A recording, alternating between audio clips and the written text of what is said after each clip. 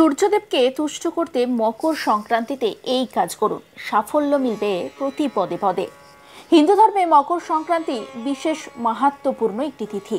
সূর্য মকর রাশিতে প্রবেশ করলে সেদিন মকর সংক্রান্তি পালিত হয়। জেনে নিন, মকর সংক্রান্তিতে কোন কোন কাজ করলে সূর্যের আশীর্বাদ লাভ করবেন আপনি। জ্যোতিষশাস্ত্র অনুযায়ী সূর্য প্রতিটি রাশিতে মোটামুটি এক মাস ধরে অবস্থান করে। সেই হিসেবে বছরে বারো মাসে বারোটি রাশিতে গোচর করে সূর্য। তবে তার মধ্যে মকর রাশিতে সূর্যের গোচরকাল সব সবচেয়ে গুরুত্বপূর্ণ, কারণ এদিন থেকেই উত্তরায়ণ শুরু হয় সূর্যের। জ্যোতিষ অনুসারে সূর্যকে নবগ্রহের রাজা মনে করা হয়। সূর্য হলো খ্যাতি, শক্তি, সম্মান ও গর্বের প্রতীক। যে ব্যক্তির জন্মছকে সূর্য দুর্বল অবস্থানে থাকে, তাকে জীবনে নানা ক্ষেত্রে সমস্যার সম্মুখীন হতে হয়। সে ব্যক্তির পক্ষে পরিশ্রম করেও সাফল্য পাওয়া একটু কঠিন হয়ে যায়। মকর সংক্রান্তিতে সূর্যদেবকে তুষ্ট করে তার শুভ প্রভাব লাভ করা সম্ভব হয়।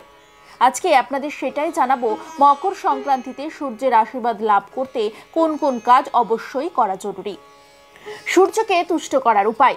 জন্মছকে সূর্যের অবস্থান ভালো করতে মকর সংক্রান্তির সকালে জল, লাল চন্দন, লাল গোলাপ, একটা তামার পাত্রে নিয়ে সূর্যের পুজো করুন। রাত্রে শুতে যাওয়ার আগে একটা তামার পাত্রে জল ভরে রাখুন। সকালে উঠে সবার আগে সেই জল পান করুন। ডান হাতের কবজিতে তামার ব্রেসলেট পরলেও জন্মছকে সূর্যের অবস্থান ভালো করা যায়। প্রতিদিন ভোরে ঘুম থেকে উঠে সূর্যদেবের আরাধনা করুন। সূর্যকে তুষ্ট করতে রোজ আদিত্য হৃদয় স্তোত্র জপ করুন। সূর্য যেহেতু শনি রাশির মকরে গোচর করে, তাই এদিন সূর্যের পাশাপাশি শনি পুজো করলেও উপকার পাওয়া যায়।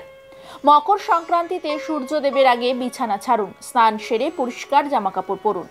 এরপরে তামার পাত্রে জল নিন, তার মধ্যে একটু সিঁদুর, অক্ষত ও লাল ফুল নিয়ে সূর্যের উদ্দেশ্যে নিবেদন করুন।